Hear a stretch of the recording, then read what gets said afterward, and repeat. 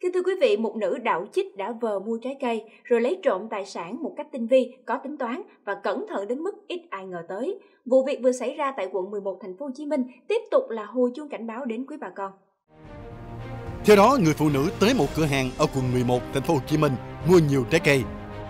Nhưng đáng chú ý chính là sự bất thường của người này khi liên tục cố tình di chuyển chiếc điện thoại của nhân viên sơ ý để trên bàn, rồi giấu bên dưới tập giấy trắng. Lần đầu không lấy được, người phụ nữ bỏ đi, sau đó quay trở lại, một tay cầm túi đồ che đậy, tay còn lại kéo điện thoại ra để trộm cắp và tổ thoát nhanh chóng.